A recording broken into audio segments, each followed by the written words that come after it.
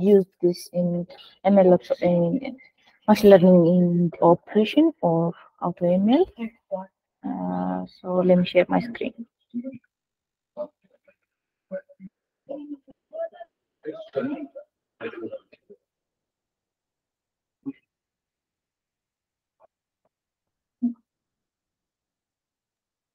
Can you see my screen?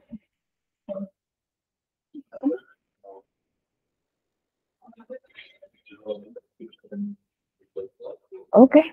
Mm, so today we will start thinking about systems. So in general, when we say system, system includes we have a digestive system, we have certain systems, bank system, and overall system and components. So in order to start thinking from the system perspective, when you say system thinking is a system thinking and holistic approach that actually focus for the system as well as its constituents. And when we say how these systems are work, in order to say human digestive system, there are many systems out there which contribute to this digestive system, starting from uh, your hand, then your mouth, then then so many systems are there. So how can they be integrated when it comes to in data science? For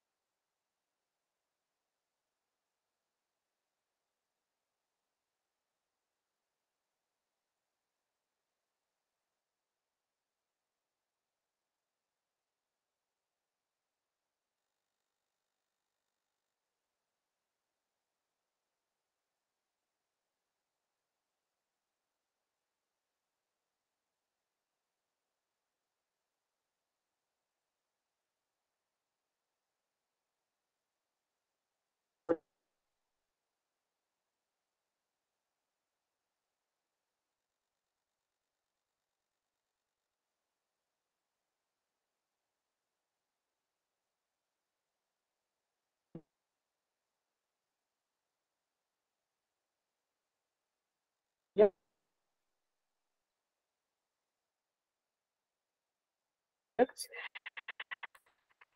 uh, you can think of like building a management system.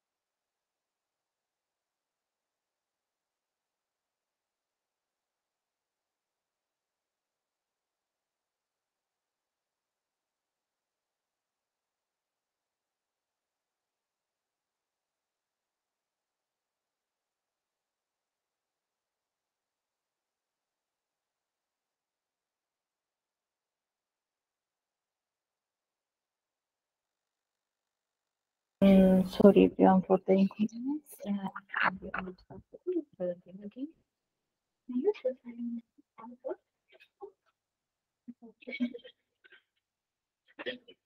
Can you see my screen? Oh, then, uh, if I up the traction, just system have one ML, if you have one email system, the data pipeline, the ML development, then the evaluation tracking is uh, things as one and they can be um, result to one system which you your desired system development system to have one system. But now in the modern one, we have multiple systems. We need to integrate them because the system can be the front uh, is one component, the backend is the other component, and ML development part, the data pipeline is the other component. so you have these three components as well, then based on this, mm, then if you want to maintain or if you want to separate every functionalities from the system.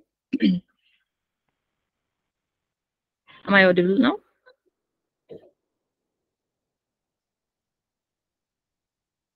Okay. Uh, so system development by itself is you have different components. So let's think of that way in modern system development way. Then in that process, so we have a process, workflow, and pipeline. So in order to uh, design a structured approach, you need to divide your uh, system into this uh, parts. So there is task or a piece of work that you need to uh, do and it have its own outcome and its own time boundary. For that then the process is there a set of tasks which is multiple tasks can be chained into one process. So this will introduce you a parallelism concept or parallel processing because you will fetch data at the same time you will process data.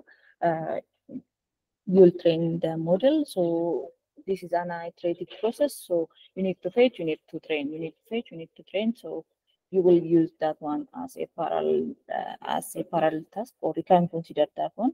Then the workflow is there there is a relationship between each task or each process so you need to parallelize them. That means it can be chained as a workflow and the pipeline which uh, is a set of your workflow so that introduce another parallelism of the workflow as well so multiple pipelines are there, data fetching pipeline, data processing pipeline, ML training pipeline, ML evaluation pipeline, multiple things are there. So when it comes into the pipeline state, it becomes a big uh, and it's a set of workflow. And your ML system should follow this kind of things. This will help you in order to divide your tasks into a number of divide your problem into number of tasks and organize them in a way that can be structured in this approach. Then once you have this workflow or um, how you can break down them into set of manageable categories because they are easy to automate, easy to manage. You are working, let's say you are working in a team, so everybody have their own contribution towards your data pipeline, towards your um, ML model development pipeline, towards your model evaluation. So in order to um, synchronize these all different contributions, you need to have a certain standard, a certain workflow. So we will use that workflow for us to make each things manageable and easy to access and in order to make them repeatable in all across different situations. So the situations that will happen, like if you have merging issue in the data pipeline team, that there can be also a merging problem with the main the machine learning development team or task related to that. So you need to fix if you have a proper workflow, or that will help you like do this, do that, uh, the way we can use code like that, the standard code for all teams or their variable naming, maybe their function naming. You can say more on this one, but just using that can make easy for you to manage your machine learning project. So as you know, initially uh, the system development life cycle starts from the initial or the initial idea or the problem itself. Then uh, the company goes through the feasibility study. Then there will be uh, requirement gathering, then system analysis, system specification, uh, system design, then development, then testing, then implementation for maintenance. It's a circular process. And once you have completed, let's say, uh, let's think of the learning management. And once you completed the data extraction pipeline, it should have to follow this circular path. Then once the review is done, you come present it to production. Then for the data processing part, the same. For machine learning development, the same circular same. So you can do this parallelly so data extraction team will extract, data process will process, and data and model development can be done parallelly between different teams, and that will work allow you to have a parallel among tasks and your project deliverable. So this is the general system development um, life cycle.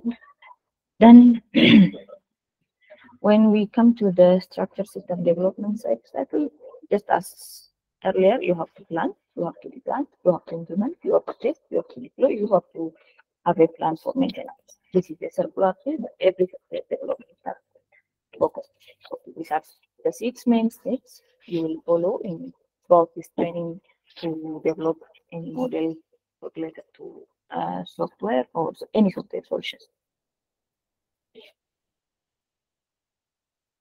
So once uh, the software development life cycle, let's think of uh, the management and the control. Each development needs to have a control layer that will set the objective and the capacity and the monitoring the progress. So there is a project, manager, which needs to be um, uh, above you and who needs to be completed task given the task, uh, the, the given timeline and the given quality. So the quality control and the controlling objectives, because uh, in project definition, maybe you need to talk to the stakeholders and everyone in that what who are they responsible, and based on that, you need to define a certain thing about that specific solution. So that will be examined as a set of paragraphs, then uh, your management control will control that this meet the deadline and that you can think of it as a proposal phase. Then the system requirement, the system definition. And once you start implementing with the quality control objectives, can be basic quality controls, how you define your um, solution in terms of what the code quality, best practice, uh, thinking of scalability, um, interoperability. You can have many, many control objectives here.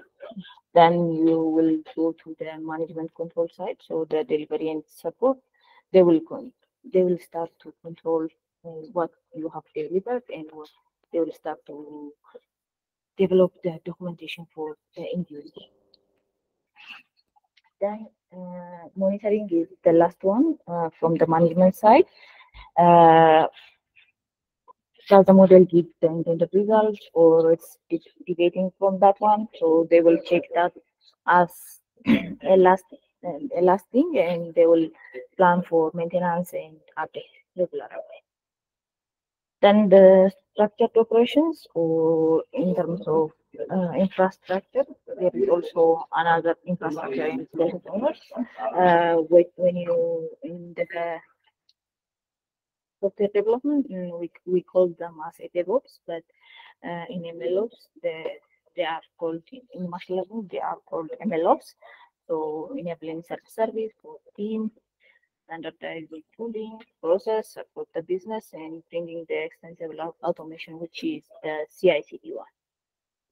So everyone needs to work on the dev branch. Like if we pick simple scenario, everyone needs to work on the dev branch and once it's staged on the staging branch, so you, you are able to work with the main branch or the production branch. So in order to have these standards or industry standard technique, you need to have an MLOps or you need, you need, you need to think of in terms of that because uh, development have many errors, many things, but once you you could have been tested in tested in different dimensions, it should have to be staged and the code reviewers or anyone testing should test and this is the production ready product. So let's move it to uh, the production.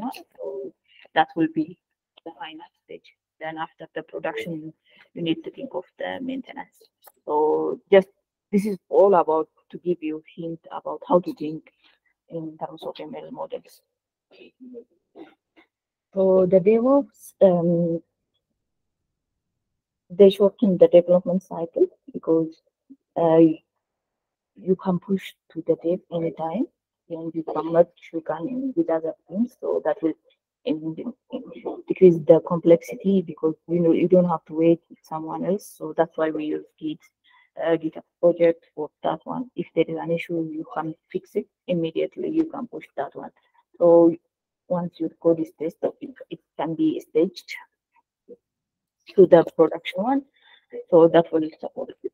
And independent production release uh, in using this Docker or Jenkins or Puppet or Kubernetes to uh, simulate your work environment, your machine environment to the other one. That means when you use Docker, let's say Dockerizing means containerizing.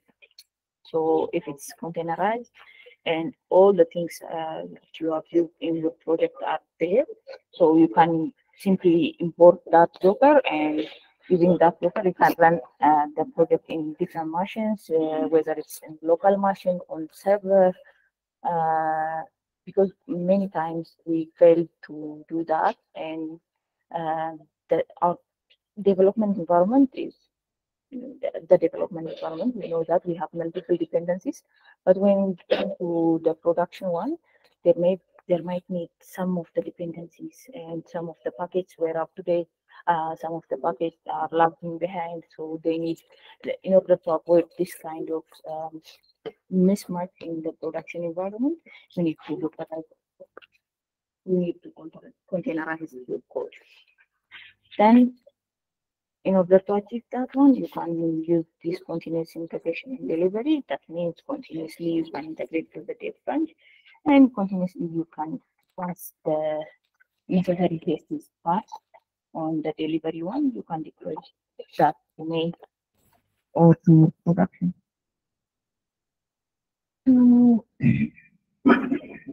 when it comes to the ML systems, we have the main components as well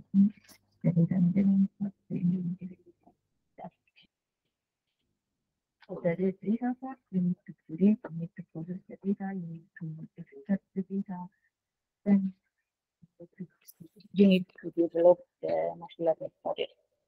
Or you need to fine tune, you need to hyperparameter tuning, any of the tasks which is related to machine learning model development, including the evaluation, model tracking, then the last one is the application engineering, which means that how how your model can be deployed uh, or how you can deploy that one. Uh, do you want to use a mobile app? Do you want to use uh, a web app or what? Which mechanism are you using? So deciding on the app engineering and also integrating that one with the ML model uh, API endpoints will be necessary. Then uh, MLOps have similar principle with the DevOps one, and that mm, the different thing is here we have more components. That means the ML de development, uh, training, operationalization, continuous training, continuous development, um, model development, it there. Uh, prediction and serving is there and also continuous monitoring because your machine learning model mm, when you continuously um, train the model it have more information it, it will intend to give you the desired result sometimes it may not so you need to fix that one so this is the MLOps uh, system in the machine learning uh, system so the MLOps component is configuration. You need to think of the configuration. You need to think of the automation, uh, data collection, data pipeline creation, data verification, feature engineering have the same as a data engineering task.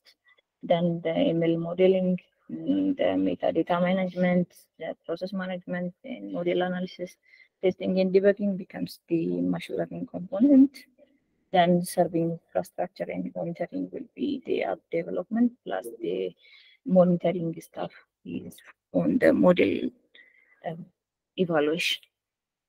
So these are the main components for the ML model.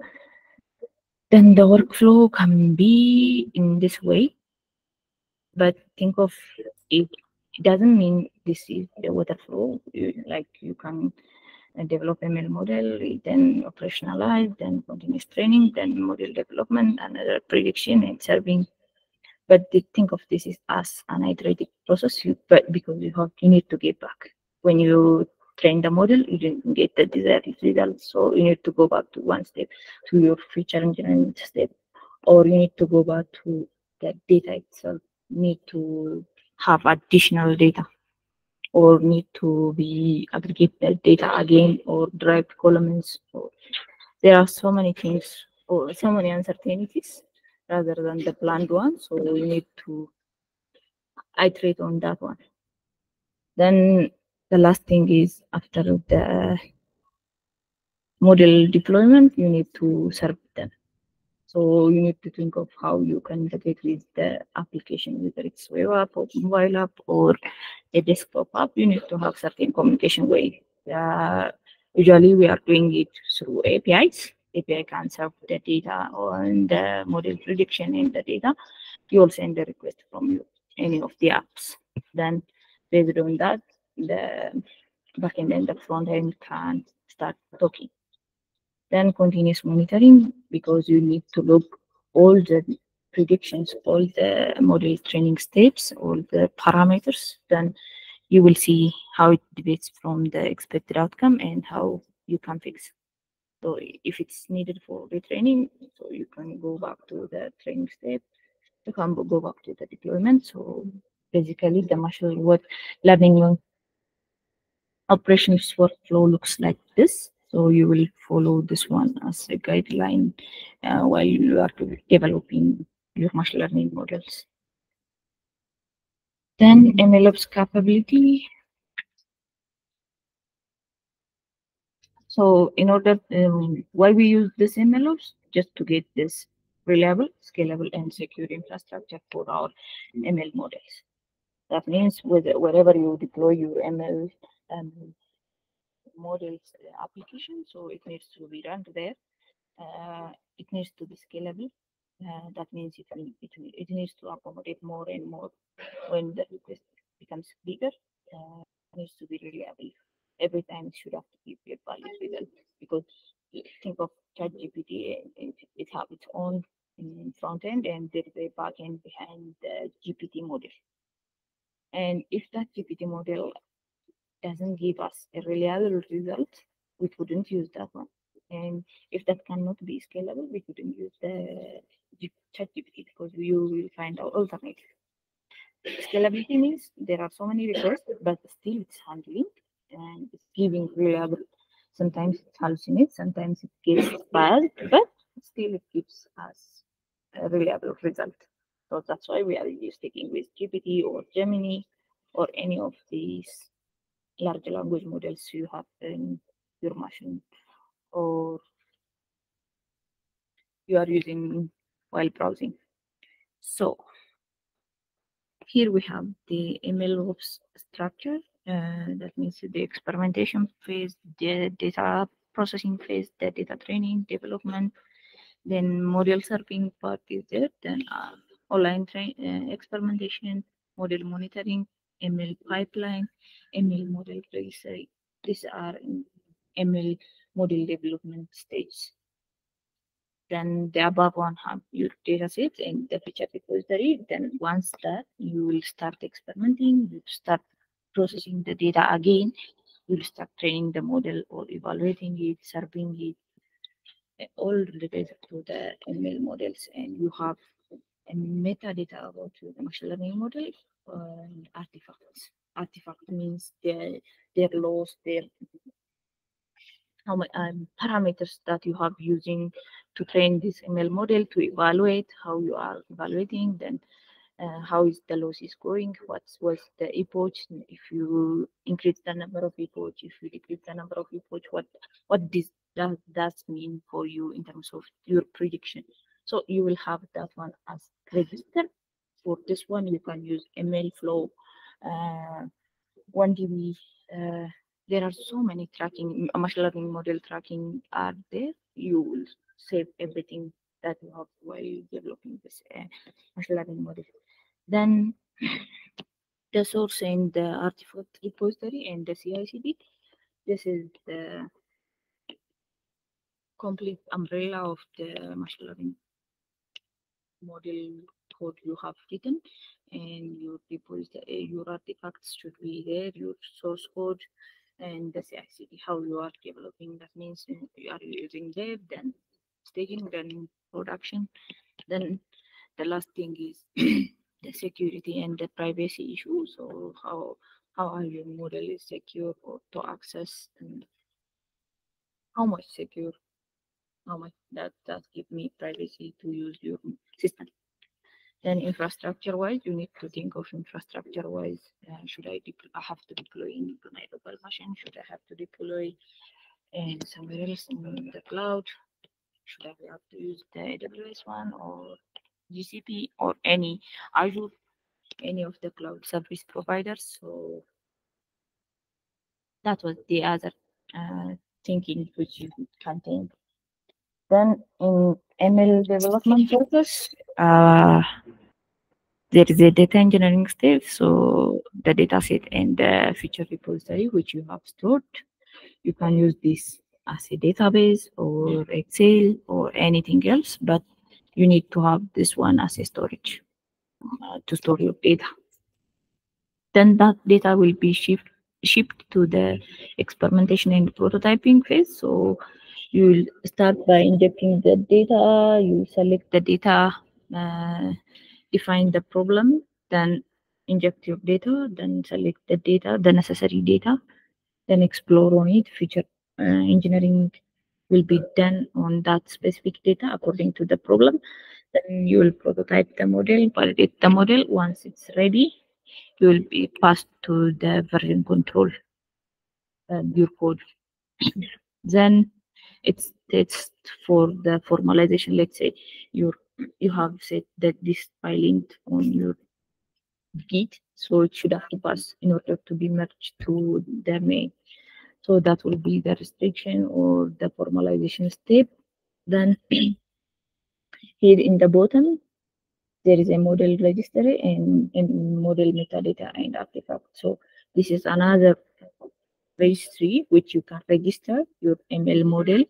ML model uh, metadata, that means in terms of metadata, how this model is developed, that how many epochs does it take, does it need batch processing, that needs uh, real-time processing, uh, what are the hyperparameters that have been used, how many LSTM, how many um.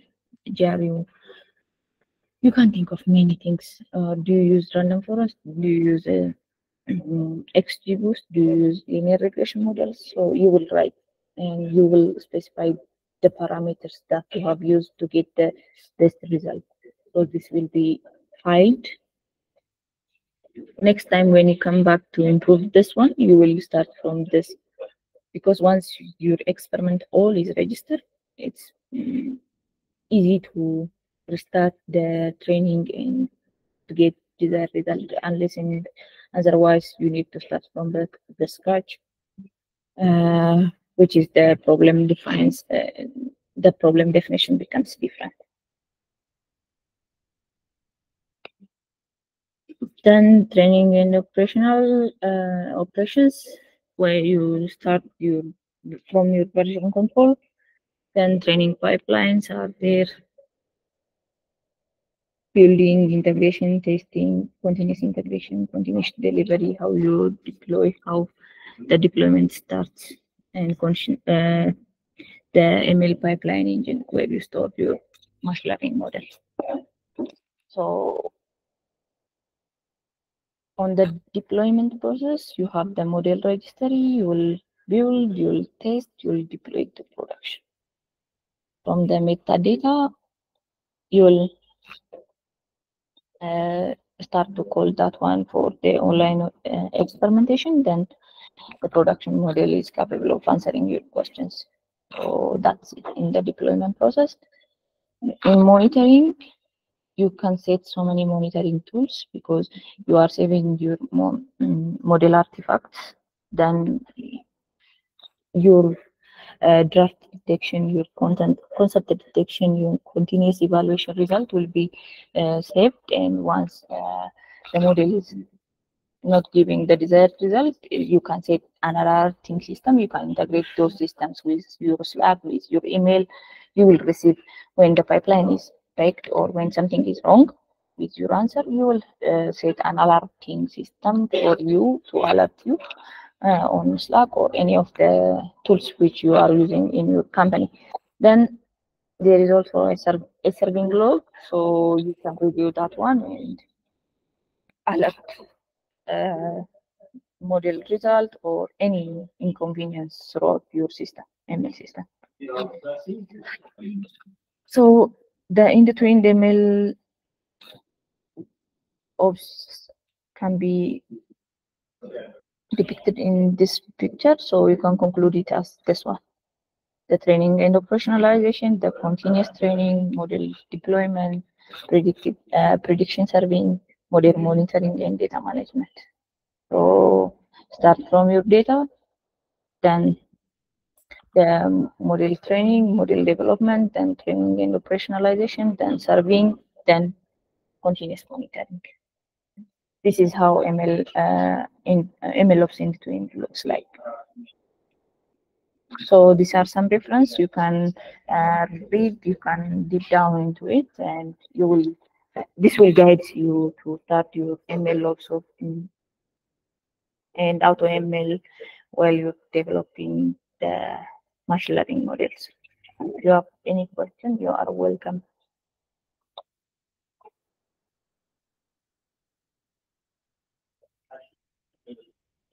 Question, anything that needs to be clarified?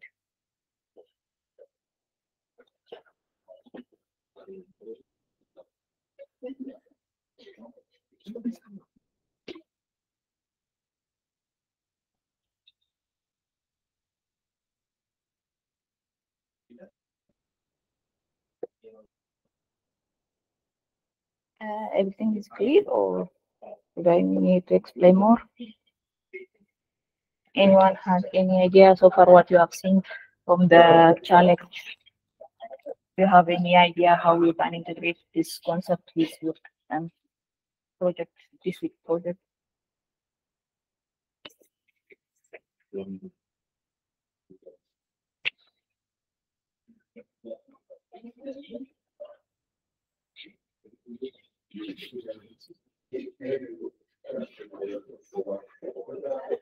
Anyone? So let me consider everything is clear.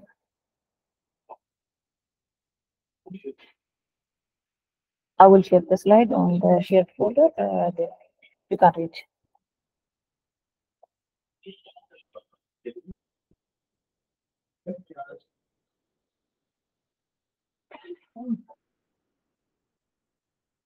So thank you everyone for joining. If you have any question, reach out to me or any of the tutors. You can have our immediate response.